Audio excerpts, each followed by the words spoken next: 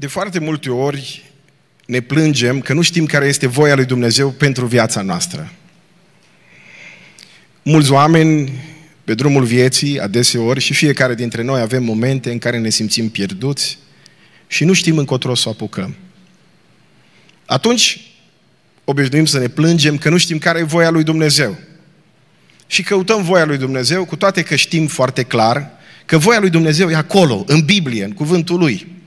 Așa cum am vorbit data trecută. Avem Biblia acasă, har Domnului o grămadă.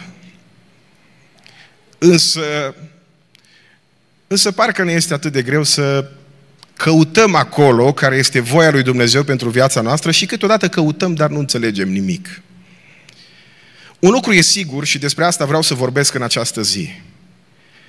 Atunci când vrei să înțelegi care e voia lui Dumnezeu pentru viața ta, așa cum este ea acolo în Biblie, pentru lucrul acesta trebuie să lupți. Voia lui Dumnezeu nu e întotdeauna foarte clară. Noi am vrea să auzim o voce care să ne vorbească noaptea, să ne spună astăzi, uite, trebuie să mergi acolo, trebuie să faci așa, să vii de acolo, să mergi în partea aia și parcă lucrurile ar fi atât de simple, dar în realitate nu stau așa. Am vrea eventual Duhul Sfânt să ne vorbească în fiecare dimineață și să ne spună, măi, uite, de astăzi încolo, din dimineața asta până de seară, ai de făcut lucrul ăsta, lucrul ăsta, ce simplu ar fi. Dar ca să obții voia lui Dumnezeu pentru viața ta, ca să înțelegi ce vrea Dumnezeu de la tine, trebuie să muncești. Există un principiu în Biblie pe care îl aplicăm în orice domeniu, domeniu din viața noastră și anume, Dumnezeu binecuvântează munca noastră, nu lenea noastră. Pentru motiv pentru care am ales în această zi să predic din cea mai mare schiță de predică pe care ați văzut-o vreodată în Biserica Lumina. Mă uit la unii dintre voi sunteți total descurajați. Vă gândiți, bă, dacă până acum au predicat din schițe mai mici și au fost așa de lungi, dar apoi din asta înseamnă că nu se mai termină astăzi predica. Am ales în mod ostentativ să vin în fața dumneavoastră să se vadă schița. La începutul slujirii mele ca păstor, ca predicator, am fost sfătuit să punem schițe din acelea discrete, să nu le vadă frații care se potihnesc. Astăzi, pentru toți frații care se potihnesc, am ales să vin cu această schiță. Să o vadă toți. De ce? Simplu. Dacă vrei să înțelegi cuvântul lui Dumnezeu, trebuie să muncești pentru asta. Ia imaginați-vă că ați fi într-un avion în care, înainte de a decola, v-ar vorbi capitanul, pilotul și v-ar spune haide să facem o rugăciune și probabil că atunci când ați auzi, ați zice, bă, e bine că pilotul nostru e un om credincios și după aia ar spune, văd aici în față niște butoane, nu înțeleg nimic, că n-am făcut nicio școală de pilotaj, dar vom face o rugăciune și Dumnezeu mă va inspira. Cât sunteți de pocăiți? Câți dintre voi ați mai rămâne în avionul ăla?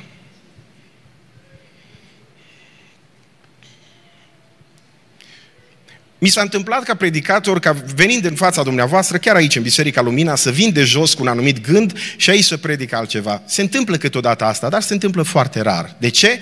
Pentru că atunci când vrei să vezi care e voia lui Dumnezeu cu privire la viața ta, așa cum este ea, voia lui Dumnezeu, e clară în Biblie pentru noi, trebuie să muncești pentru asta.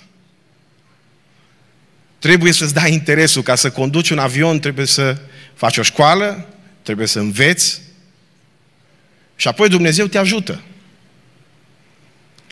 Povestea un pastor că în biserica lui era un frate din acesta, din categoria, știți, Biblia spune să nu fiți prea neprihăniți, să nu vă pierdeți în neprihănirea voastră. Din categoria asta și-au venit la el și i-au spus, frate, știi care e treaba? Uite, eu mă potihnesc în schița ta.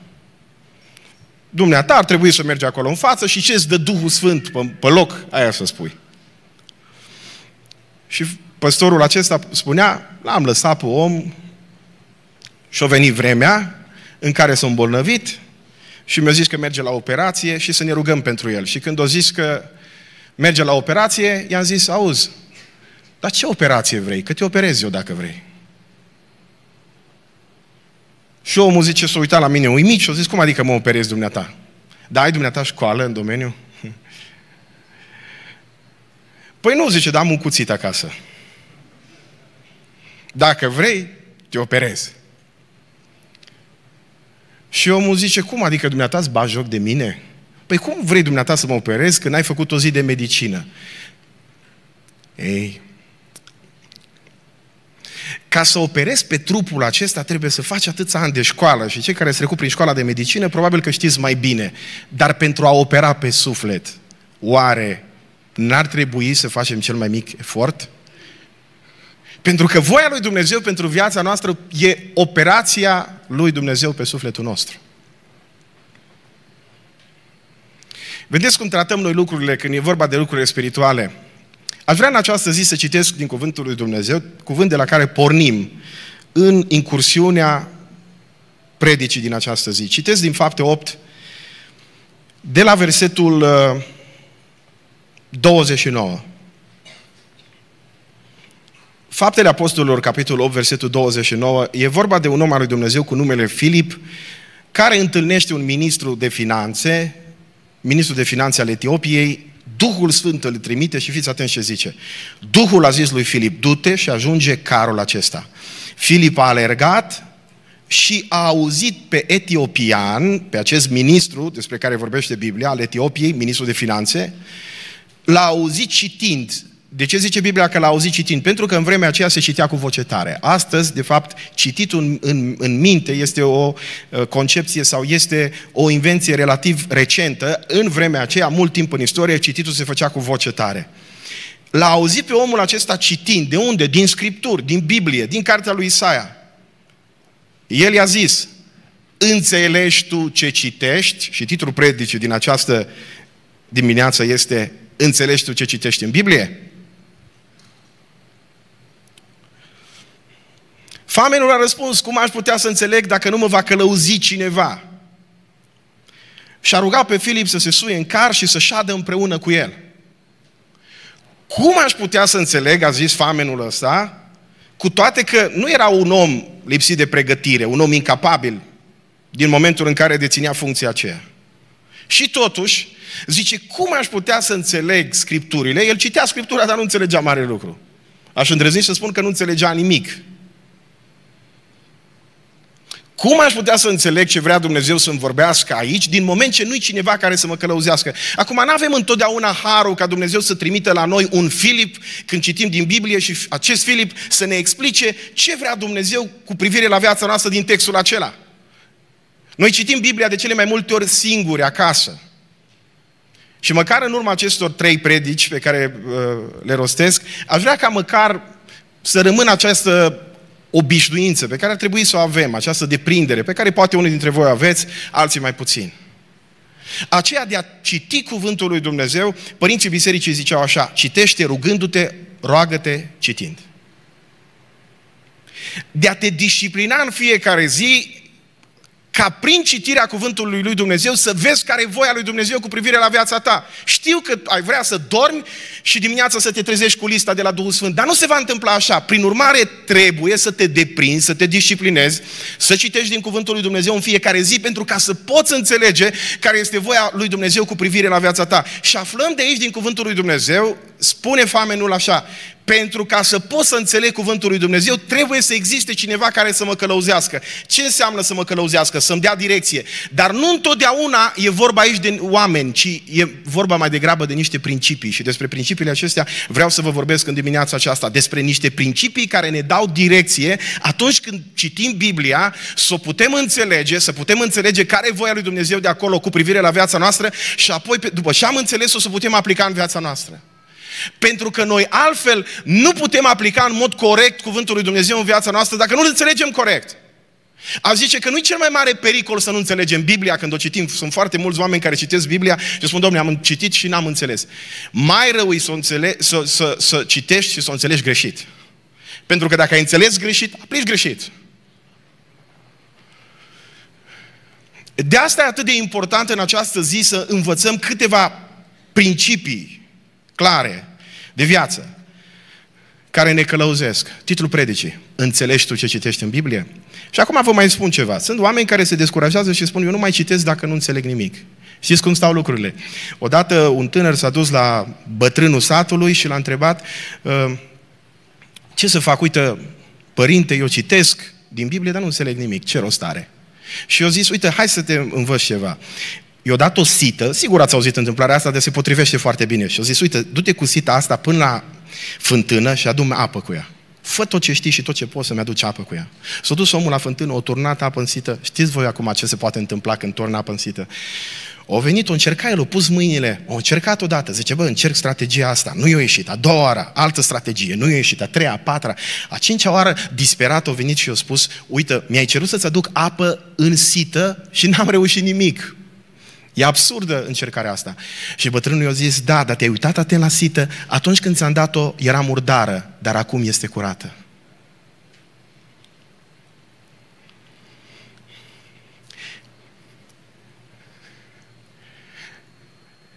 Pentru că, dragii mei, chiar dacă citim din Biblie de multe ori, mulți zic, citesc, mă frate, și nu-mi rămân numele alea, zice din Biblie, din numeri, tu îți rămâne ceva? Nimic. Numele alea încurcate, amalecis, ferezis, cine mai știe? Zice, citești, citești și parcă nu rămâne nimic. E senzația ta. Cuvântul lui Dumnezeu are capacitatea asta de a scurăți mintea și Isus a zis, ferice de cei cu inima curată, pentru că numai ei îl vor vedea pe Dumnezeu.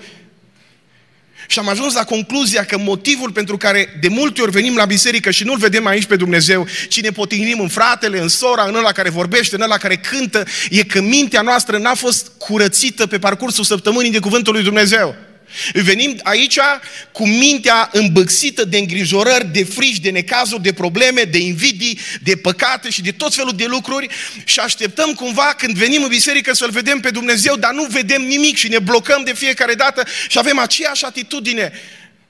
Iar scuza noastră este, frate, degeaba citesc, că nu înțeleg, nu înțeleg asta, nu înțeleg altă. Vă spun ceva, nimeni nu poate să spună că înțelege totul în mod perfect. Continuă să citești cuvântul lui Dumnezeu pentru că, pentru că El are această capacitate de a-ți curăți mintea. Și Isus a zis, spun încă o dată, ferice de cei cu inima curată, pentru că ei îl vor vedea pe Dumnezeu. Mi-aș dori și în dimineața asta, toți cei care ați venit în locul acesta, să nu-L fi văzut în primul rând pe predicator, pe cântăreț, pe ăla care stă în stânga și în dreapta ta, ci din toată inima inima, la fel ca Isaia, care a intrat în, în, în templu în anul morții împăratului Ozia, să-L vezi pe Domnul în locul acesta. Strâng cuvântul tău în inima mea ca să nu păcătuiesc împotriva ta și când Domnul Isus e dus de Duhul Sfânt în pustie ca să fie ispitit de satana, spune Biblia că de fiecare dată când diavolul vine și încearcă să-l ispitească, de fiecare dată răspunsul Mântuitorului este, este scris, este scris, este scris.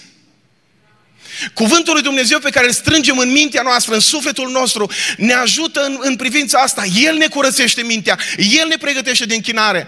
Nu eu că vin aici și vă spun câteva lucruri și după aceea voi vă vedeți de treaba voastră. Dacă pe parcursul săptămânii nu avem această disciplină, fiecare dintre noi, de a citi rugându-ne și de a ne ruga citind din Cuvântul lui Dumnezeu, venim aici și ne vedem unii pe alții, biserica, iertați-mă că vă spun, se transformă tot mai mult într-un fel de club social, prezența lui Dumnezeu e parcă tot mai departe de noi, rugăciunile sunt momente de reculegere, cântările sunt doar un simplu concert, predica este un simplu discurs, iar biserica este o clădire mire Dar când lăsăm ca Dumnezeu prin cuvântul Lui să ne curățească mintea la fiecare dintre noi și sufletul și ne apropiem de voia lui Dumnezeu în felul acesta, rugându-ne și înțelegând voia lui Dumnezeu, citind cuvântul și făcând din asta o disciplină spirituală pentru noi, dragii mei, îl vom vedea pe Dumnezeu. Când ne vom pune pe genunchi acasă, nu o să ni se pară că trece timpul greu, vom simți prezența lui Dumnezeu acolo. Când vom veni la biserică și frații vor cânta în față,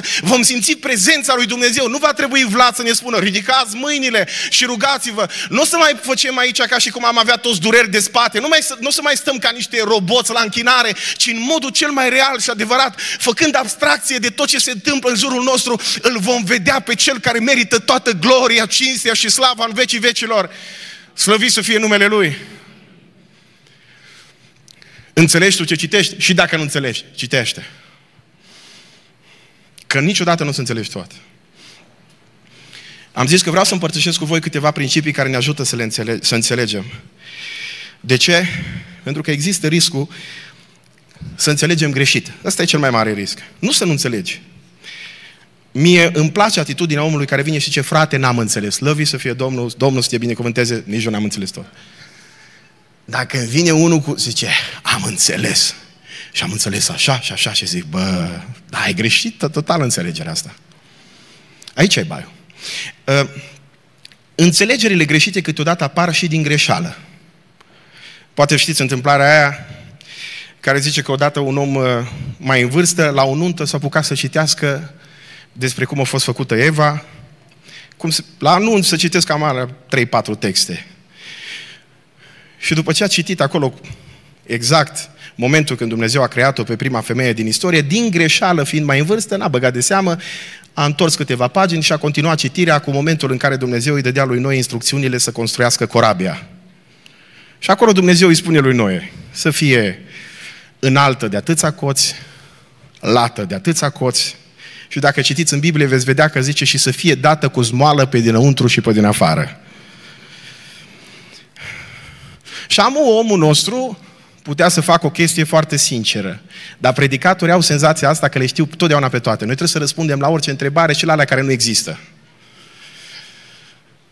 Omul s-ar fi putut uh, să spună fraților, mă iertați că am greșit. Dar cum să zice așa ceva din față? Au zis, uh, fraților, că e așa mare și lată, nu ne mirăm că a fost prima din istorie. Dar asta cu zmoala e o taină. No, uitați, așa apare, apar tainele. De ce? Pentru că citim Biblia și nu avem niște principii care să ne călăuzească, nu pe Filip, care să fie lipit de noi și să ne interpreteze Biblia așa cum vrea Dumnezeu de fiecare dată, ci sunt 10 principii, nu vi le prezint pe toate astăzi, cu ajutorul lui Dumnezeu, dacă Dumnezeu ne ține cu viață, duminica viitoare vi le prezint pe următoarele 5. Astăzi vă prezint 5 principii care ne călăuzesc în înțelegerea cuvântului lui Dumnezeu. Înțelegi tu ce citești acolo când citești Biblia? Ca să înțelegi, trebuie să știi că Biblia nu poate însemna ceva ce nu a însemnat niciodată. Și o să vedeți la ce mă refer aici. Doi, înțelege că Biblia se interpretează cu Biblia. Atunci când găsești în Biblie un text care pare mai ciudat și nu înțelegi despre ce e vorba, trebuie să încerci să găsești ceva asemănător în altă parte din Biblie, pentru că în altă parte din Biblie vei găsi o explicație la ceea ce citești acolo. 3. Înțelege experiența personală în lumina Bibliei și nu Biblia în lumina experienței personale. Știți de câte ori n-am auzit oameni spunând așa, am experimentat asta și pentru că am experimentat asta, caut un verset în Biblie care să-mi ateste experiența mea. Lucrurile nu stau așa. Din potrivă, experiențele noastre pot fi înșelătoare. Fiți atenți. Și diavolul câteodată ia haină de îngeri de lumină. De aceea, orice experiență o avem, trebuie dus în fața cuvântului lui Dumnezeu. 3. Înțelege că exemplele biblice au autoritate numai când sunt însoțite de o poruncă. Nu orice exemplu din Biblie este în mod automat valabil pentru noi. El poate să ne inspire în anumite lucruri, poate fi o aplicație sănătoasă pentru noi, dar nu e neapărat o normă și obligație pentru noi. Orice exemplu din Biblie este normativ, e obligatoriu, trebuie ascultat de noi, doar în măsura în care acel exemplu este însoțit de o poruncă. Pentru că din asta au apărut, să știți, multe probleme. Și cinci, înțelege că scopul Bibliei este să ne schimbe viețile, nu să ne îmbogățească cunoștințele. Pentru că la asta se referă Biblia când spune cunoștința îngânfă, dar dragostea ce face? Ziceți voi, zidește. Înțelege că scopul Bibliei nu să-ți îmbogățească ție cunoștințele, să ai caietul ăsta mare, să, să folosești cuvinte mari, exegeză, imanență, transcendență, să stea lumea să se uite la tine, bă, ce le știe, să, ve- să vede că ăștia fac studiu biblic acolo la Biserica Lumina, ci rostul cuvântului lui Dumnezeu este să schimbe viețile. Domnul să ne ajute la asta. Venim la punctul 1. Primul lucru, înțelege că Biblia nu poate însemna ceva ce nu a însemnat niciodată. De obicei, când citim în Biblie, dorim să știm, prima dată când citești din Biblie, tu vrei să înțelegi ce înseamnă Cuvântul lui Dumnezeu acum și aici pentru tine, când în realitate, pentru ca să înțelegi ce înseamnă acum și aici, la Oradea, sau oriunde te afla, ca să înțelegi ce înseamnă Cuvântul lui Dumnezeu acum și aici, trebuie să înțelegi ce a însemnat atunci și acolo. Și vă dau un exemplu. Avem în Biblie o carte, sunt 66 de cărți. Una dintre cărți e Cartea 1 Corinteni. Cartea 1 Corinteni este o epistolă, adică o scrisoare scrisă de Apostolul Pavel unei biserici, mai exact bisericii din Corint.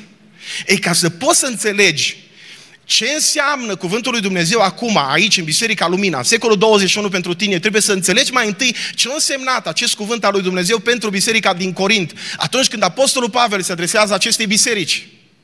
Noi de cele mai multe ori luăm cuvântul lui Dumnezeu și primul lucru sărim peste ce a însemnat atunci și acolo și încercăm să ajungem să înțelegem ce înseamnă aici și acum, motiv pentru care de foarte multe ori ne împodmolim, citim, altă dată nu pricepem nimic, ni se pare, bă, dar ce înseamnă treaba asta? Altă dată, înțelegem, dar înțelegem greșit. Și acum unii dintre voi s-ar putea să fiți descurajați și să spuneți, frate, păi de unde să știu eu treburile astea acum? Că nu pot eu citi în limba greacă Noul Testament. Acum, fraților, la câte posibilități de informare avem sunt foarte... O singură Biblie de studiu te poate ajuta să citești Biblia astfel încât să înțelegi lucrurile temeinic și serios. Dar pentru asta înseamnă puțină muncă. Primul lucru, să citești. După aceea, să vezi ce mai zici și altul despre textul acela. Uh, aveau și au arabii un proverb inspirat care zice, zice așa Puricul de pe capul cămilei vede mai departe decât cămila. Adică ce înseamnă asta? Unii dintre noi ne apropiem de Biblie și avem senzația că nimeni până acum nu mai citit Biblia și nu mai interpretat, interpretat-o. Au fost înaintea noastră oameni mai pocăiți decât noi, mai deștepți decât noi, mai inspirați decât noi, care au citit textul ăla, l-au explicat, au scris niște explicații pe care le poți găsi și dacă vrei să-l înțelegi bine, de ce să nu citești ce o scris și altul? Dar noi avem senzația asta că noi suntem primii din istoria creștinismului care țin în, în mână Biblia și că numai noi o înțelegem așa cum o înțelegem noi perfect. Biblia nu mi este adresată în primul rând mie aici acum, ci ea are un public atunci și acolo și ca să înțelegem ce înseamnă acum și aici trebuie să înțeleg ce a însemnat atunci și acolo. Și vă dau două exemple. Și pentru că Marius e aici pe primul loc, o să fac un experiment cu el. Sunt două exemple în Biblie Haideți să vă dau primul exemplu, să vedem cu câtă onestitate respectăm cuvântul lui Dumnezeu și să vedeți ce înseamnă să înțelegi cuvântul lui Dumnezeu corect și să-l aplici corect. Acum că am zis de Marius, toți ați fost atenți. Hai să vedem. Matei, capitolul 5, versetul 38 și 39. Ați auzit că s-a zis ochi pentru ochi și dinte pentru dinte. Nu asta are legătură cu Marius. Dar eu vă spun să nu vă împotriviți celui ce vă face rău, ci oricui te lovește peste obrazul drept întoarce și pe celălalt. Dacă te silește cineva să mergi cu el o milă, mergi două. Noi eu vă întreb pe voi așa, că v-am văzut cu pruncii pe aici în jurul vostru. Dacă cineva să ia de copilul vostru pe stradă, frațe, hai să vorbesc cu voi. Îți ia pruncul la bătaie, tu ce faci? Mai scrie în Biblie că dacă îți dă cineva o palmă peste obrazul drept, să întorci și celălalt obraz. Asta faceți. Nu. E? Și atunci știți ce apare? Apare un fel de... Nu vreau să folosesc cuvinte greșite, mai bine uh, recalculăm traseul. Un mod de viață dublu, am vrut să zic schizoid, dar nu zic asta. Adică, venim la biserică și la biserică un frate strigă în față. Dacă oricui te lovește peste obrazul drept, întoarce și pe celălalt. Și tu știi pe fratele că dacă numai o vorbă ei zice, Și zice, și zice, fraților, așa trebuie să fim. Și noi ascultăm și zicem, bă, dar asta nu se aplică, mă, că n-ai cum să o aplici, n-ai cum, că dacă se ia cineva de pruncul tău, în momentul imediat, tu ca bărbat, ți se activează creierul și zici, bă, nu există, zice în Biblie, da, ferice de cel ce dă, nu de cel ce primește, nu? Și aia atât în Biblie scrie. Nu, acum, de fapt, ce-o vreau să zică Biblia aici? Că noi, aici intervine Marius. Oricui te lovește peste obrazul drept, întoarce și celălalt. Și o să vă explic în mod practic, o să cobor la el și o să dau o palmă. Stați liniștiți, mă, oameni buni. De fapt, la ce se referă cuvântul lui Dumnezeu aici? Se referă la relația dintre evrei și autoritățile romane. Pentru că în contextul de atunci, evreii erau sub dominație romană soldatul roman avea dreptul să pălmuiască în mod public pe cineva, dar ca să-l umilească, îl lovea întotdeauna cu exteriorul palmei. Acum, nu o să facem exemplu practic, mă apropiu puțin. Și zice acolo în Biblie așa, dacă cineva te lovește peste obrazul drept, da? Obrazul drept, a celuilalt. Ca să lovești peste obrazul drept, trebuie să dai întotdeauna cu exteriorul palmei. Și acest lovit cu exteriorul palmei era o formă de a umili pe celălalt. Și ce zice Domnul Isus? Dacă un soldat roman vrea să-și bată joc de tine în fața vecinilor tăi, neamurilor tale, familiei tale, și vrea să te umilească în mod public și fac lucrul ăsta, făceau în mod frecvent și vrea să-și bată joc de tine și vrea să-ți dea peste obrazul drept cu partea exterioară, tu ce să faci? Întoarce partea alaltă. De ce? Pentru că întorcând în mod automat partea alaltă, îl vei obliga să te lovească cu interiorul palmei, nu cu exteriorul palmei. Și lovitul cu interiorul palmei e o formă de a declara, ești la același nivel cu mine, pentru că îl pălmuiesc numai pe ăla care e de rangul meu. Însă ăla care e inferior, întotdeauna e lovit cu exteriorul palmei. Și apoi în versetul 41 zice, dacă te obligă cineva să mergi cu el o milă, cum ar putea să mă oblige cineva să merg cu el o milă? Aici iarăși treaba asta face parte din legea romană. Soldatul roman avea dreptul să șară unui, unui om simplu să-i poarte greutatea o milă, nu mai mult. Dacă i-ar fi cerut să ducă două mile, era pasibil chiar de condamnare la moarte. Și atunci legea romană îi permitea unui soldat să, să meargă o milă. O milă, nu mai mult. Dacă cerea mai mult de o milă, asta se considera abuz. Armata romană nu voia să facă abuz tocmai ca să nu riște vreo răscoală și atunci, dacă vreun soldat făcea, făcea abuz, putea să fie condamnat aspru, fie cu bătaie publică, fie chiar prin omorâre. Și atunci Domnul Iisus ce zice aici? Zice așa, E aici un principiu biblic pe care îl vom întâlni și în altă parte în Biblie. Nu zice că a fi pocăit înseamnă să fii bleg. Nu zice că a fi creștin înseamnă să nu-ți aperi drepturile, că n-ai voie să lupți pentru drepturile tale. Nu înseamnă că noi suntem chemați de Dumnezeu să stăm ca niște pipirigi, așa, plecați, obosiți tot timpul, supărați pe viață, fără niciun fel de inițiativă și a zice, bă, ce o fi, o fi, ce e scris și pentru noi, bucuros vom duce toate, de pace, de război. Asta nu e în Biblie. Asta e în altă parte.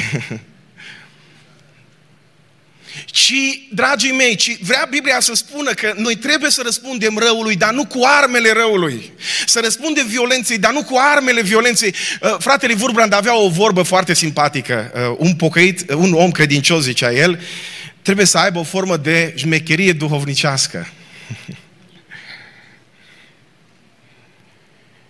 Vă trimit, a zis Iisus, ca pe niște oi în mijlocul lupilor. Păi eu vă întreb, o oaie cu un lup nu se poate bate prin mijloace convenționale. Nu, nu poate veni o oaie să, să se ia la bătaie cu un lup, să muște un lup, să știu eu, să facă ceva de genul ăsta. Zice, vă trimit ca pe niște oi în mijlocul lupilor, într-o lume dominată de rău, de violență. Noi creștinii suntem chemați nu să nu luptăm, ci suntem chemați să luptăm, dar nu folosind armele răului, ci folosind armele lui Dumnezeu, armele luminii. Suntem chemați să luptăm, așa cum ne cheamă Biblia să o facem, suntem chemați să luptăm cu inteligență, suntem chemați să luptăm cu înțelepciune, suntem chemați să luptăm cu bunătate. Biblia spune, răspundeți răului, dar nu răspundeți cu rău, ci răspundeți cu bine și răspund, răspunzând răului cu bine, de foarte multe ori veți șoca. Dacă un om îți face rău, de foarte multe ori în mod intenționat, Biblia spune, răspunde-i. Nu înseamnă că a fi pocăit trebuie să te lași tot timpul uh, călcat în picioare, furat de toată lumea, înșelat de toată lumea, ci zice Biblia, răspunde, dar răspunde cu înțelepciune, răspunde folosind armele luminii. Spune, mă rog pentru tine, Dumnezeu să te binecuvânteze. Asta vrea să spună Biblia aici. Biblia nu încurajează atitudinea asta specific românească. A, ce-a fi, a fi. Da, păi, nu. Dar vedeți, Trebuie să înțelegem ce a însemnat atunci, acolo, ca să putem înțelege ce înseamnă aici și acum. Pentru că dacă noi luăm și citim acolo și zicem, dacă cineva îți dă păstă obrazul drept. I-am auzit pe unii zicând că numai dacă păstă obrazul drept, păstă obrazul stâng, nu. Și scoatem tot felul de interpretări de genul ăsta care n-au nicio treabă cu ceea ce Domnul Iisus voia să spună. Și ajungem să înțelegem greșit cuvântul lui Dumnezeu și mai rău, după ce l-am înțeles greșit, să-l aplicăm greșit. Acum, dacă tot am început cu asta, mergem și mai departe. Riscăm până la maxim. Oricum e online astăzi. Așa că toate textele controversate vi le prezint în dimineața asta. Un alt text biblic înțeles greșit. 1 Timotei, capitolul 2, cu versetul 15. Ca să înțeleg ce înseamnă cuvântul lui Dumnezeu acum și aici, trebuie să înțeleg ce a însemnat atunci și acolo. Și uite 1 Timotei 2 cu 15, unul din versetele scoase din context și adeseori forțat aplicate la vremurile noastre, zice așa, totuși se referă la femeie. Ea va fi mântuită prin naștere de fii, pentru că Apostolul Pavel vorbește acolo despre statutul femeii în biserică, spune că bărbatul e cel care are autoritate în biserică, el este cel care trebuie să dea direcție din punct de vedere spiritual, el trebuie să învețe, în altă parte reglementează și spune că femeia poate învăța alte femei, spune clar lucrul ăsta, spune de asemenea că poate să învețe copii și așa mai departe, însă, fiți atenți, în acest context zice, totuși ea va fi mântuită prin naștere de fii dacă stăruiește cu smerenie în credință, în dragoste și în sfințenie. Acum, dacă ai credință, ai și dragoste și sfințenie. Dacă n-ai credință, n-ai nici dragoste, n-ai nici sfințenie. Sau poți să ai o dragoste, dar o dragoste firească. Dragostea aceea care vine de la Dumnezeu se naște în credință. Și acum, ăsta e unul dintre versetele pe care foarte mulți le-au scos din context și le-au aplicat greșit. Vreau să fac o paranteză ca să nu fiu înțeles greșit, că oricum, aș zice-o, tot voi fi înțeles greșit, dar nu niciun bai. Îi vară și mă aventurez la subiecte de genul ăsta. Suntem binecuvântați să avem din partea lui Dumnezeu capacitatea de a aduce viață în lumea asta. După mântuire, al doilea dar de preț pe care l-am primit din partea lui Dumnezeu e capacitatea de a aduce viață. Drept dovadă, suntem mai mult decât fericiți să vedem în biserică familii care își aduc copiii la binecuvântare, așa cum am văzut și în dimineața asta. Dumnezeu să-i binecuvânteze. Nu-i nimic mai frumos decât să vezi în biserică o familie cu 4-5 prunci, 3, 2, 3, cât să așezați unul lângă altul, ascultători, cu minți, ascultând cuvântul lui Dumnezeu. Mai vorbim, că acum vorba lui Creangă, dacă e popă să cetească, dacă e copil să se joace. Nu-i nimic mai frumos decât asta. E una din valorile credinței noastre, credem că Dumnezeu e creatorul și susținătorul vieții, credem că cel mai mare dar după mântuirea sufletului nostru pe care noi oamenii l-am primit de la Dumnezeu e darul acesta de a dărui viața de asemenea, promovăm asta și credem asta. Însă, 1 Timotei 2 cu 15 n-are nicio legătură cu mântuirea sufletului. Ar fi absurd să credem că femeia este mântuită prin capacitatea ei de a procrea sau de a naște, iar bărbatul prin credință. Atunci femeile n-ar mai avea rost să vină la biserică. Ar fi absurd să credem că femeia este mântuită doar în măsura în care poate să nască prunci și uh, atât. Ce rost ar mai fi avut să vină Hristos pentru femeie atunci? Când Biblia spune foarte clar și citiți în Biblie, nu vă mai dau versete, că așa avem destule, când Biblia spune foarte clar că mântuirea noastră este doar prin credință și doar prin Hristos. Amin. Și credința, așa cum spune aici, naște dragoste și sfințenie. Adică, adică întotdeauna credința aduce și fapte. Și putem să măsurăm dacă o credință este autentică sau adevărată și după roade. Biblia spune, după roade veți cunoaște. Nu te poți lăuda că ai credință în inimă. Astea sunt lucruri clare, dacă nu se vede în exterior. Dar, Biblia aici nu ne spune că femeia este mântuită altfel decât bărbatul, că bărbatul e mântuit prin credință și prin Hristos și femeia doar în măsura în care poate naște, pentru că n-ar fi drept Dumnezeu dacă am gândit în felul ăsta și pentru că Biblia nu spune asta aici. Ia gândiți-vă la câte femei nu pot face copii, ia gândiți-vă la câte femei nu se căsătoresc. Și atunci ele își pierd oare dreptul la mântuire pentru simplu fapt că nu pot naște prunci? Mă, niciun caz. Și în niciun caz Biblia nu se referă la asta aici. Și aș face o legătură cu un alt verset, dintr-un alt text, de atâtea ori prost înțeles, Psalmul 127, cu, care se vorbește tot despre copii și despre nașterea de copii. Numai frații care folosesc textul, aș vrea să nu uite că l-a scris Solomon. Pentru cei care cunosc Biblia, Solomon a avut mulți prunci, dar și multe neveste. Foarte multe. Și acum, Psalmul 127 cu 5, vorbind despre asta, zice așa, ferice de omul care își umple tolba cu săgeți, adică are cât mai mulți copii, pentru că nu va rămâne de rușine când va vorbi cu vrăjmașii lui la poartă. Deci n-are, aici nu e o legătură cu partea spirituală, ci e vorba de partea socială. La ce se referă? La faptul că în vremea aceea nu exista un sistem social foarte bine pus la punct, nu exista un sistem de apărare, nu puteai suna la 112 dacă te ataca cineva. Dacă aveai 10 băieți însă, când venea vrăjmașul la poartă și bătea la poartă, apăreau ăia zece, altfel vorbea. Și de-aia zice autorul Psalmul 127 cu 5, ferice de cel care își umple tolba cu săgeți, că nu o să aibă probleme cu vecinii. Nu zice, ferice că va fi primul rai înaintea altora care nu-or putut face prunci. Nu zice asta. Și încă o dată vă rog să nu mă înțelegeți greșit. Cred din toată inima că Dumnezeu binecuvântează familiile cu copii. Și e o bucurie să vedem în biserica noastră familii care au mulți copii. Și cred că, încă o dată vă spun, capacitatea de a da viață e specifică lui Dumnezeu și un dar, cel mai mare dar pe care l-am primit de la Dumnezeu. Dar hai să vedem ce spune Biblia în anumite lucruri și să nu scoatem lucrurile din context. Și atunci, ce vrea să spună Pavel acolo? Simplu. Un lucru pe care poate să-l spună. Sunt două variante pe care vi le dau, amândouă sunt valabile. Unu. Pavel acolo spune că femeia va fi mântuită prin naștere de fi. Gândiți-vă, ca să înțelegi ce înseamnă acum și aici, trebuie să înțelegi ce a însemnat atunci și acolo. Voi vă gândiți că în vremea aceea nu existau pensii?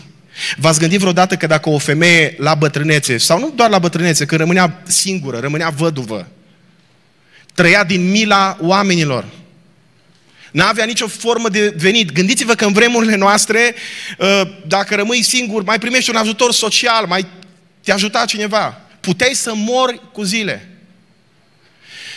Mântuirea la care se referă Apostolul Pavel aici poate să nu fie neapărat o mântuire spirituală, ci poate fi una socială, ca în cazul Psalmului 127. E posibil și asta. Adică, ferice de acea femeie care, având mai mulți băieți, în momentul în care rămâne singură la bătrânețe, e cineva care să o salveze, să o mântuiască, să o ajute și să o sprijine. Asta e o posibilitate. A doua, următorul slide. Acolo vorbește despre statutul femeii, nu mai citesc încă o dată versetele. Spune Apostolul Pavel, prin femeie a intrat păcatul în lume, pentru că ea a fost cea care a vorbit prima dată cu diavolul, cu șarpele și așa mai departe. Dar spune, totuși, tot prin femeie a intrat și mântuirea. Adică prin capacitatea ei de a procrea. De ce? Pentru că Isus Hristos a fost născut de Maria. Și așa cum păcatul, zice Apostolul Pavel aici, a intrat în lume, printr-o femeie și mântuirea noastră care vine prin singurul care aduce mântuire, adică Isus Hristos, a intrat în lumea asta tot printr-o femeie, mai exact prin Maria.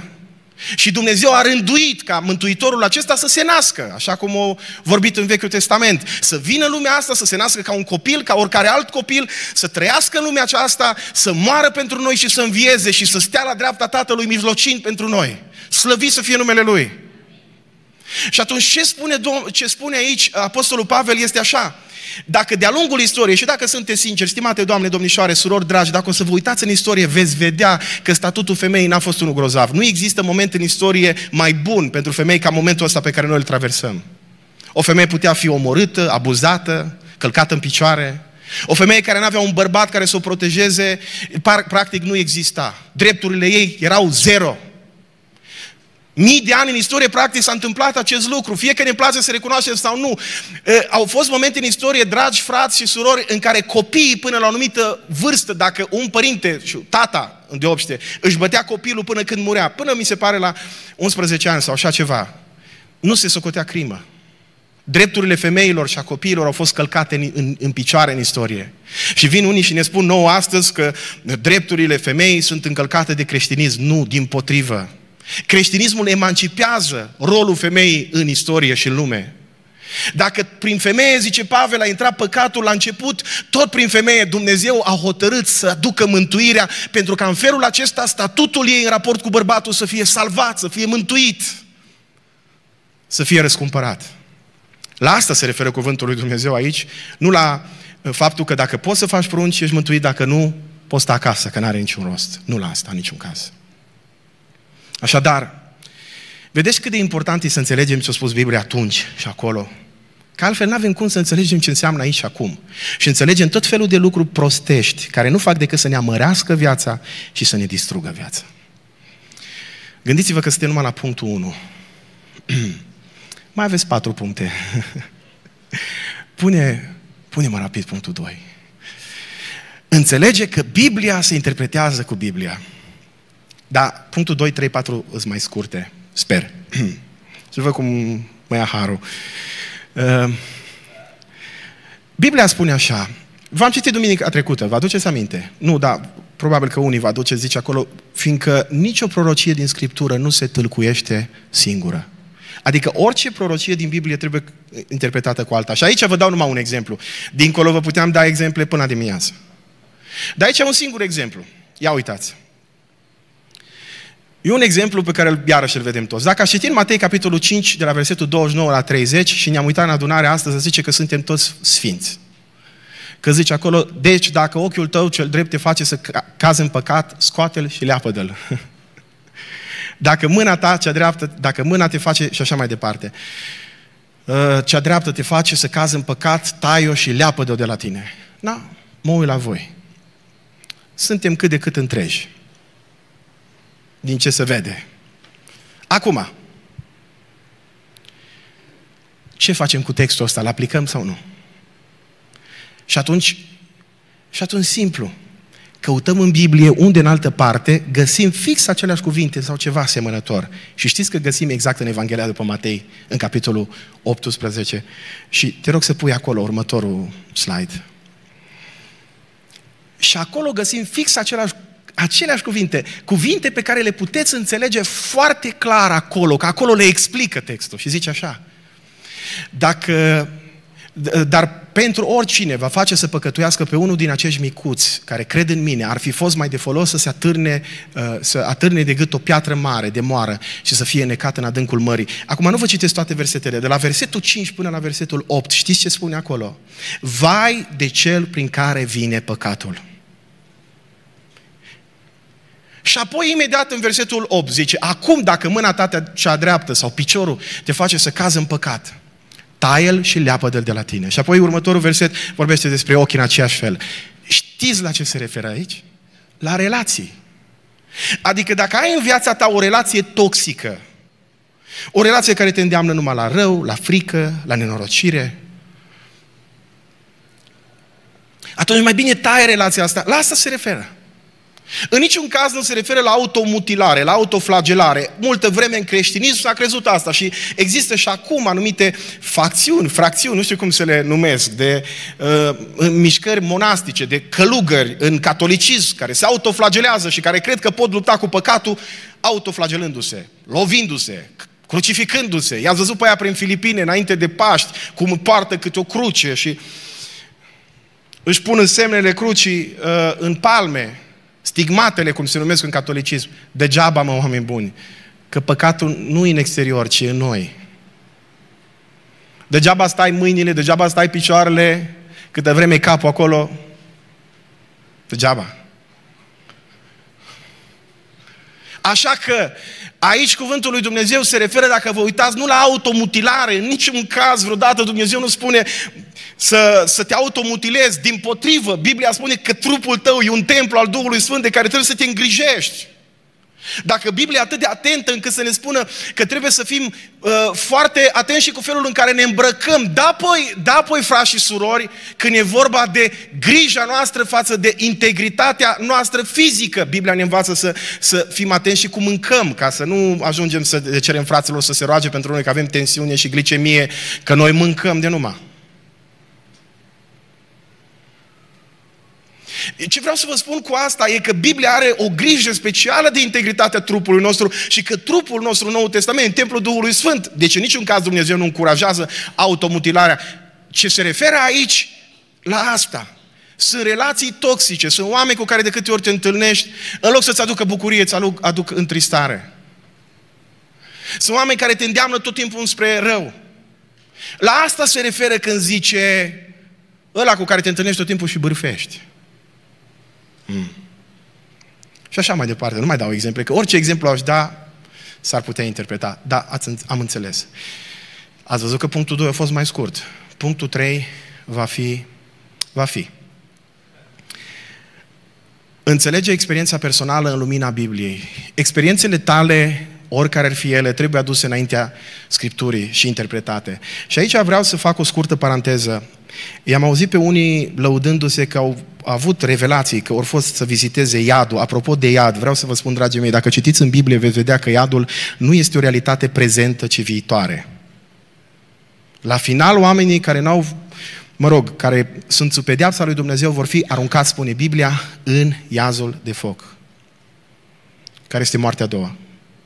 E adevărat că Biblia vorbește despre niște duhuri care sunt înlănțuite în adânc. N-are rost să intrăm în niște detalii care depășesc capacitatea noastră de înțelegere. Însă, diavolul nu e în iad. Ce bine ar fi să fie acolo. Unii așa cred că e în iad. Dar Biblia ne spune că e în văzduh, e Domnul văzduhului, e aici, e prezent în lumea asta. Că dacă diavolul ar fi legat și ar fi în iad, ce liniștiți am stat noi în biserică? Dar nici atunci n-am stat liniștiți că firea noastră pământească zice, bă, uite-te la ăla, uite-te la celălalt. Vreau să închid aici paranteza și să-i spun uh, toate experiențele astea pe care unii le aduc. Unii spun, am, povestesc cum au vizitat ei raiul și ce le-a arătat Dumnezeu acolo. Dragii mei, am o singură întrebare în legătură cu asta. Apostolul Pavel spune că a fost răpit până la cel de-al treilea cer. Știți ce înseamnă cel de-al treilea cer? Primul cer e ăsta pe care îl vedem ziua, văzduhul. Al doilea cer e cel pe care îl vedem noaptea, e cosmosul. Al treilea cer e locul prezenței lui Dumnezeu. Cerul nu e un fel de turn cu mai multe niveluri. Cel de-al treilea cer e practic locul prezenței lui Dumnezeu. Și Pavel, vorbind despre sine, vorbește cumva la persoana treia cu multă modestie și smerenie, zice, cunosc un om și zice acolo ceva, lucrurile pe care le-am văzut nu pot fi cuprinse în cuvinte. Adică dacă Apostolul Pavel nu găsește cuvinte să exprime ceea ce experimentează acolo, mă întreb, cum sunt astăzi unii mai ceva decât Apostolul Pavel? Închid paranteză. Experiențele noastre întotdeauna trebuie raportate la Biblie, la Cuvântul lui Dumnezeu. La ce spune Scriptura? Și aici vă dau un exemplu. S-ar putea ca tu să fii avut o experiență nefericită cu împrumuturi. Uh, legat de împrumuturi, sunt foarte mulți oameni care își aduc aminte că e păcat să dai bani cu dobândă, dar după ce iau banii, când trebuie să-i dea înapoi. Foarte interesantă și categoria asta, cu toate că Biblia spune că cel rău ia bani și nu-i mai dă înapoi. Și acum s-ar putea să fi avut o experiență neplăcută cu împrumuturi bancare și să te fi luptat din greu să plătești un anumit împrumut bancar. În sfârșit Dumnezeu te-a ajutat, ai plătit împrumutul și atunci zici, mă, e voia Domnului să nu fac împrumuturi la bancă. Și găsești un verset în Biblie. Și am auzit pe unii folosind versetul ăsta. Roman 13 cu 8, să nu datorați nimănui nimic. No. Păi nu scrie în Biblie să nu datorați nimănui nimic, dar nu se referă la bancă, frații mei. Și nici la relația asta economică. Și dacă ne uităm în versetul de dinainte, se referă la relația creștinului cu autoritățile statului. Zice acolo așa, ă, dacă datorați cuiva impozit, dați impozit. Dacă datorați vamă, dați vamă. Dacă, dacă datorezi frică sau respect, la frică la asta se referă respect, dă-i respect. Datorezi cinste, oferă-i cinste. Și se referă, dacă citiți tot capitolul, la relația unui om credincios cu autoritățile statului.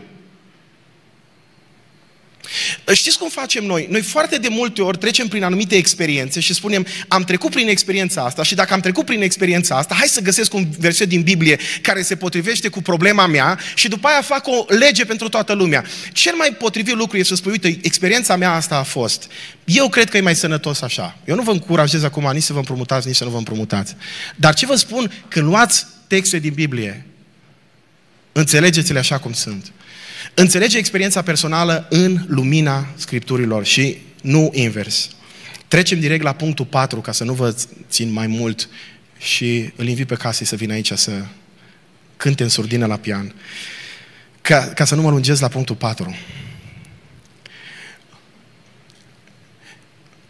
Exemplele biblice au autoritate numai când sunt însoțite de o poruncă. De ce? Pentru că sunt texte care spun un anumit lucru, prescriu un anumit lucru, sunt texte care descriu. Și dacă vă uitați și o să vedeți următorul, pune-te rog frumos cât mai uh, rapid fiecare slide ca să fie văzut. Uite, există un text în Marcu 16 uh, care spune, iată semnele care îi vor însoți pe cei care vor crede. Și aici sunt foarte multe lucruri. Vor scoate dragi, vor vorbi în limbi noi. Și zice acolo așa, vor lua în mână șerpi, dacă vorbea ceva de moarte, nu-i va vătăma. Și probabil că ați auzit și voi categoria aceea de oameni. Există o categorie de oameni mai ciudați care au încercat și treaba asta și au zis dacă scrie aici așa, atunci hai să încercăm, să luăm șerpi în mână, să bem puțină cianură, să vedem dacă are vreun efect asupra noastră. Ei, oamenii ăștia ce au făcut? Au luat un text din Biblie care, ce făcea? Descria ce se întâmpla la început, în, în vremea uh, bisericii primare, descria uh, manifestarea credinței din viața creștinilor și zicea, uite, creștini acum, ce semne, de ce semne sunt însoțiți când puterea lui Dumnezeu este cu ei? Și au zis, oh, păi dacă vrei să fii creștin, trebuie să faci treaba asta. Dar nu scrie nicăieri în Biblie că dacă vrei să fii creștin, ca să-ți probezi creștinismul, încercarea credinței să încerci să iei un șarpe în mână. Veninos, evident. Nu scrie nicăieri că trebuie să bei ceva de moarte ca să... Înțelegeți ce vă spun? Exemplele din Scriptură sau fragmentele biblice care descriu și nu prescriu, trebuie luate ca atare. Ele nu sunt normative pentru viața noastră. Și vă mai dau un exemplu. Exemple din Biblie sunt folositoare pentru noi și sunt o sursă bogată de aplicație. Uite, de exemplu, Biblia ne spune rugați-vă neîncetat. Și spune treaba asta, Apostolul Pavel spune rugați-vă neîncetat și dacă o să vă uitați în Biblie o să vedeți că Domnul Isus obișnuia să se roage fie dimineața, fie noaptea câteodată. Dar nu înseamnă că trebuie să facem din asta o regulă. Că am auzit pe unii zicând, obligatoriu trebuie să te rogi dimineața. Păi dacă tu ești mort de oboseală, că mă uit și în biserică de multe ori văd pe oameni terminați dimineața. Dacă tu ești mort de oboseală, te trezești la 4 și, sau la 5 și mergi la lucru și abia ții ochii deschiși. Ce rost are numai să încerci să te chinui acolo? Nu. Există acest principiu în Scriptură. Îl găsim de foarte multe ori. Rugați-vă, rugați-vă neîncetat. Domnul Iisus se ruga. Dar nu scrie nicăieri să te rogi dimineața sau la prânz sau seara sau când anume ar trebui să faci. Important e să o faci. Important e să găsești timpul ăla care e cel mai potrivit pentru tine. Da, Domnul Iisus se ruga noaptea, spune Biblia că se, se, rug, se ducea în locuri pustii, scotea strigăte mari de foarte multe ori în rugăciunile lui, se ruga nopți de-a rândul, câteodată se ruga dimineața și există acolo, dacă o să vă uitați, și argumentul. Marcu 1 cu 35, că obișnuia să se trezească dimineața, să se roage. Nu știu când e cel mai bine pentru tine, dar trebuie să te rogi în fiecare zi. Nu știu care e cel mai potrivit timp pentru tine din zi. Poate că e seara, dar poate seara vii de la lucru și degeaba dacă toată ziua ai muncit și vii seara de la lucru și ești terminat, nu mai ai niciun chef de, de citit din Biblie. Abia ții ochii deschiși.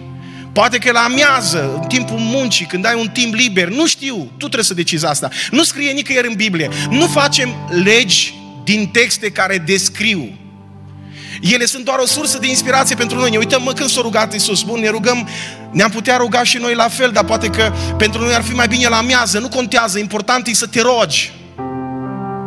Doamne ajută-ne la asta. Știți de ce vă spun asta? Pentru că noi luăm așa, mă, Iisus s-a rugat noaptea. Păi eu nu mă pot ruga noaptea. Păi atunci nu mă mai rog deloc. Iisus s-a rugat dimineața. Păi eu nu mă pot ruga dimineața. Păi atunci nu mă mai rog deloc. Și noi așa sărim dintr-o extremă în alta. Păi nu scrie nicăieri în Biblie zice să te rogi la amiază. Păi Biblia nu, Biblia e o carte scrisă pentru oameni deștepți a căror minte a fost luminată de Duhul Sfânt și aplicațiile din Scriptură avem dreptul fiecare dintre noi să le facem în mod personal. Cum ni se potrivește la fiecare dintre noi mai bine? Legea lui Dumnezeu acolo, prescrisă de Dumnezeu, trebuie să o luăm și să o aplicăm în viața noastră. Dumnezeu ne dă libertatea asta. Nu a făcut din noi o armată de roboți. Biserica nu e așa o armată de oameni toți tunși la fel, care se uită în aceeași direcție, care fiecare, eh, care, eh, nu știu, se mișcă toți în aceeași cadență. Nu, Dumnezeu ne-a creat pe fiecare dintre noi în mod unic și personal. Avem abilitățile noastre, calitățile noastre, frumusețile noastre și Dumnezeu a lăsat să avem această libertate, fiecare dintre noi, să putem să avem în mod unic, inclusiv relația noastră cu Dumnezeu. Dar vă îndemn, aveți acest timp de rugăciune și de citire a cuvântului în fiecare zi, pentru că altfel degeaba ne chinuim aici în față, degeaba vinem la biserică, degeaba ne rugăm, degeaba le facem toate acestea. Dacă nu există această relație personală cu Dumnezeu, nu vei face decât să trăiești o religie și nu o credință. Și, și mă doare să vă spun, nu, mă, îi mulțumesc Domnului că n-am capacitate de ști câți dintre voi, dintre cei ce sunteți astăzi aici, faceți acest lucru, că probabil că aș descuraja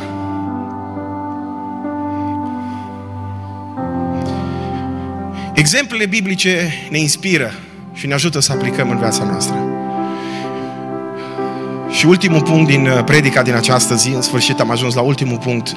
Biblia, scopul Bibliei, și trebuie să înțelegem asta, este să ne schimbe viețile, nu să ne îmbogățească cu cunoștințele.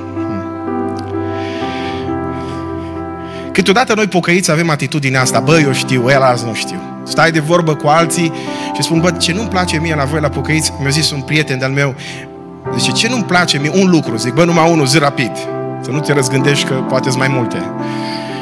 Nu-mi place, zice, că așa vă considerați cumva special. Și zic, bă, chiar ar trebui să fim. Nu suntem, dar ar trebui să fim. Câteodată avem senzația asta că faptul că știm mai multe versete din Biblie ne face mai buni. Dați-mi voie să vă spun că mă uit la câte, câte unul și mă gândesc, Doamne, faptul că omul ăsta știe mai, mul, mai multe nu-l face mai bun, din potrivă îl face parcă mai rău. Și asta e dureros, pentru că fiți atenți, Biblia spune că judecata stă să înceapă nu din lume și de, de la casa lui Dumnezeu. De ce? Pentru că nouă ni s-a dat mult și ni se cere mult.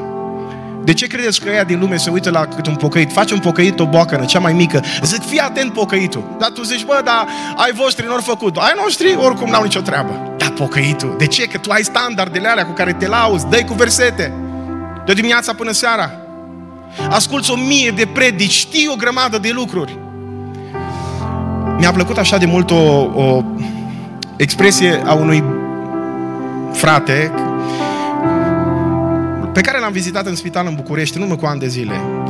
El era de aici din Oradea și m-a rugat când mă duc la București să-i duc Biblia pe care o moștenea de la bunicul său.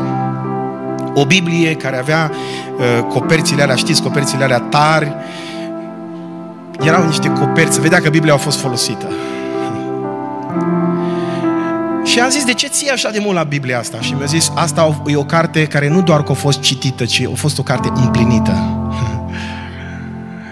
Și ce spune Biblia în legătură cu asta? În 2 Timotei 3 cu 16. Toată Scriptura este insuflată de Dumnezeu și de folos. De ce? Ca să învețe. Bun, să învețe. Să mustre. Să îndrepte. Să dea înțelepciune în neprihănire. Pentru ca omul lui Dumnezeu să fie cum? cu multă cunoștință și mai deștept decât alții și superior într-un fel sau altul, nu, să fie desăvârșit și cu totul destoinic pentru orice lucrare bună. Ăsta e rostul pentru care Dumnezeu ne-a dat Biblia. Ăsta e rostul pentru care ascultăm o grămadă de predici. Ăsta e rostul pentru care citim Biblia în fiecare zi, să înțelegem care este voia lui Dumnezeu pentru viața noastră și acest cuvânt pe care Dumnezeu îl dă să ne schimbe viața, pentru că noi nu primim cuvântul lui Dumnezeu sau noi nu ne zbatem atât de mult să înțelegem cuvântul lui Dumnezeu ca să ne lăudăm că suntem mai buni decât alții sau pentru ca să ne socotim superior altora, ci ca să înțelegem că acest cuvânt al lui Dumnezeu nu-i pentru ca să știm noi mai multe, ci ca să fim mai aproape de Dumnezeu, să fim mai schimbați de puterea cuvântului lui Dumnezeu. Băiatul ăla despre care v-am vorbit, bărbatul ăla despre care v-am vorbit, își dorea, era bolnav, făcea tratamentul cu citostatice în București, m-am dus să îl vizitez, m-am dus să mă rog pentru el și am dus Biblia și așa era de bucuros. Zice, din Biblia asta am ascultat dimineața as- când îmi citea bunicul din cuvânt. Din Biblia asta am auzit despre Isus, despre Iosif. Asta e Biblia, mi-aduc aminte, zicea el, când eram copil și mai aveam febră și bunicul se ruga pentru mine și punea mâna și uh, citea de acolo din Biblie un text din cartea asta am auzit, am auzit prima dată pe Dumnezeu vorbindu-mi și, și dacă mor, vreau să fiu îngropat cu Biblia asta în brațe.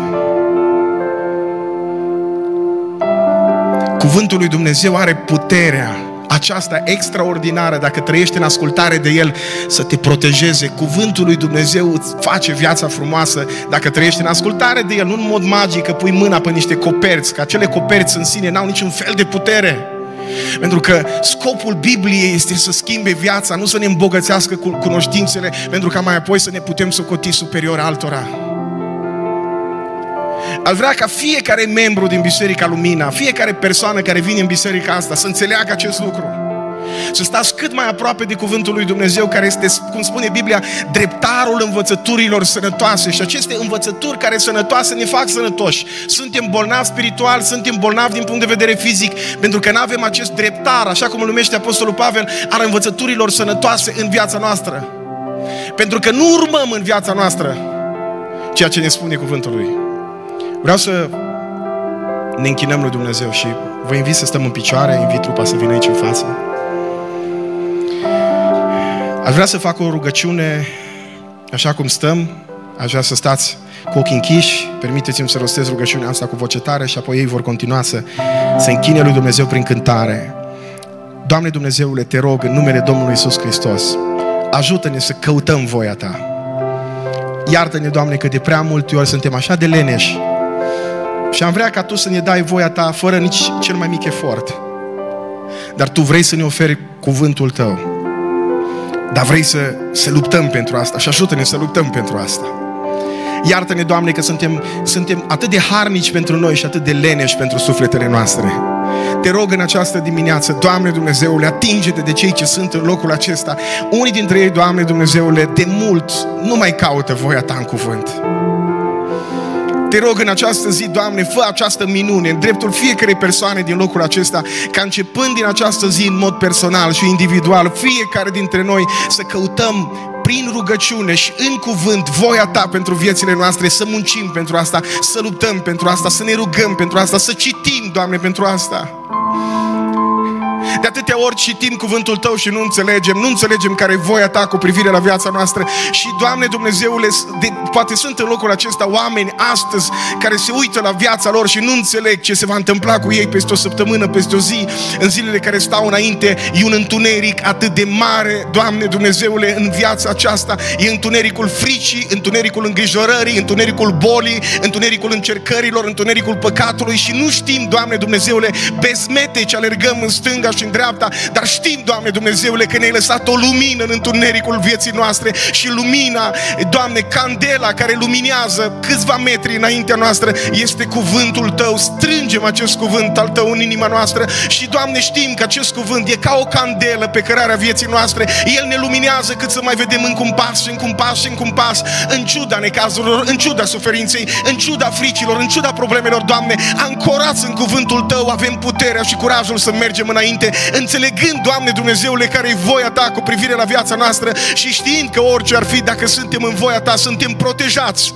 Dacă suntem în voia Ta, suntem fericiți, Doamne. Și chiar dacă de multe ori plângem și nu e o fericire omenească obișnuită, ci o fericire care vine dintr-o altă lume, e fericirea prezenței Tale, Doamne Dumnezeule, în întunericul acesta al vieții noastre, îți mulțumim că ne-ai lăsat această candelă, Doamne, care este cuvântul Tău și care ne dă speranță și ne dă claritate și chiar dacă claritatea nu e așa cum am vrea noi să fie. Avem puterea să pășim înainte și dacă ne spui să o luăm la stânga, o vom lua, lua la stânga și dacă ne spui să o luăm la dreapta, o vom lua la dreapta și chiar dacă e dureros să facem anumite alegeri, Doamne, în virtutea cuvântului Tău, încrezându-ne, Doamne, pe deplin în cuvântul Tău, știind că cerul și pământul vor trece, dar cuvintele Tale vor rămâne mai departe în picioare. Doamne Dumnezeule, clădindu-ne viața nu pe nisipuri mișcătoare, ci clădindu-ne viața pe stânca de viacuri a cuvântului Tău, îndrăznim, Doamne, să privim cu încredere spre momentul în care se va auzi strigarea Maranata, vine Iisus Hristos, ieșiți în întâmpinare, îndrăznim să privim cu încredere